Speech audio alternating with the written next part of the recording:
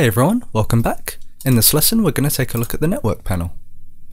To start out, I'd first like to say that please always disable your cache when recording network traffic because you don't want to be getting cached resources and you know not understanding when content has been updated. So let's take a look at the UI of the network panel. At the top we've got a few options, we've got the ability to toggle the view of these resource items so I prefer to display them as small items because you can fit more on the screen. And you've also got the ability to clear all the items that are already there. So again, if you're looking at um, network traffic and you're like really going to get into analyzing it, I would always clear what's already there, right click, reload the page so you have a fresh batch of um, resource items. Right under these controls, we've got a bunch of filter items and I brought these up by clicking on the filter icon. Uh, by default, it's hidden.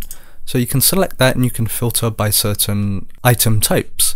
So over here I can see that a custom font is being used but I don't want to find that in this giant list so I can just click on fonts and there it is. If I click on the font it's quite nice because I actually get a preview but we'll look into what these various tabs are in a sec. So these are all the filter items, but what's really nice is we've also got advanced filtering. So see these little items as basic filtering and see this as more advanced filtering. So at the bottom, I see a few Twitter images and I know that's coming from the Twitter domain. So in this advanced filtering box, I can select domain and what you'll see is you actually get autocomplete for the available domain. So this is very powerful. And you don't even have to hit enter, you can just cycle through these, so it's very convenient. I'll clear that. I'll hide this filtering bar. Right at the bottom, we get a few interesting statistics. We see an overview of how many requests occurred, we see how much network traffic was actually transferred, the time it took, and more importantly, we get the DOM content loaded and load events, which is very useful when debugging JavaScript applications, because a lot of what we do hooks into the DOM content loaded event. You'll find DOM content loaded is this blue bar, and that's available on this waterfall chart, which we'll get into in a sec.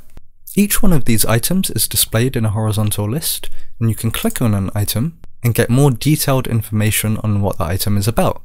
So to start out, we've got the headers. Headers is very powerful. For example, if you're a service engineer or you're just a web developer and you want to find out that the gzip header is being correctly sent.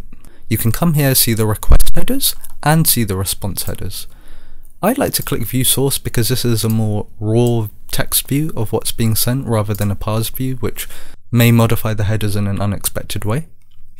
And recently we gained the ability to see the remote address, so this is useful because you understand the IP address of the server that's actually being hit. You get a preview. Preview and response are very similar. I believe when it's a JSON response, preview will actually format it a bit nicer. You see cookies, as you know that cookies are sent throughout HTTP requests, so this is useful to see what cookies are being transferred. And timing information, which is pretty much the same as what you get in this waterfall chart. And what I mean by that is you can actually hover over these bars and you get detailed stats on the time it took for that resource to complete its download. When you see a fairly long waiting time, but a short receiving time, this is kind of good in the sense that the resource isn't huge and it's downloading qu fairly quickly, but don't forget to always throttle your connection using something like Charles Proxy to make sure you're getting an accurate representation of what your users might be using.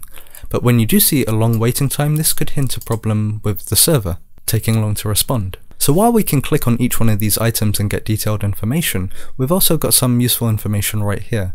You see the method, the HTTP status, the content type, the initiator, which is very useful, and I'll get to that in a sec, the size, time it took to complete, and you can also right click here and enable more. So we can enable this cookies header, and that will show us how many cookies were transferred per this request. I would definitely advise right clicking and just experimenting with a few of these headers, finding out what's useful for you. Each one of these resources has a context menu, so you can right click on the resource, you can open it in a new tab, you can copy the link address, which is useful for sending it to someone. You can copy the request headers, and that will just go straight into your clipboard, which is useful if you need to, again, send it to someone or paste it somewhere for diagnostics. One feature that I really like is the ability to copy it as a curl request. So let's find a resource to copy as curl. I think I will do this one. This is nice and short. So I'll right click, copy as curl, go to my terminal and paste. And as you can see, that curl request is executed with the same header information that the browser used originally, which is very powerful. Now I'd like to show you the initiator, which is a feature I really like. The initiator column will show you how a resource came to be. And what I mean by this is who requested that resource. So in the case of a CSS file, chances are it was probably requested because of a link tag.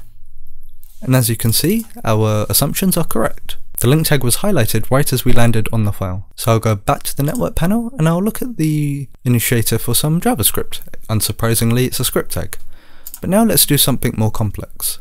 Now in the case of this denim.png, we actually get a call stack of how this resource came to be, so we see the individual calls that occurred for that resource to be initiated. So that's all for now, but just to recap, we've got a few filtering options here, You've got advanced filtering and basic filtering. We've got the ability to toggle the view of the resource items. You can click on the resource item, you can get a preview, cookie information, header information.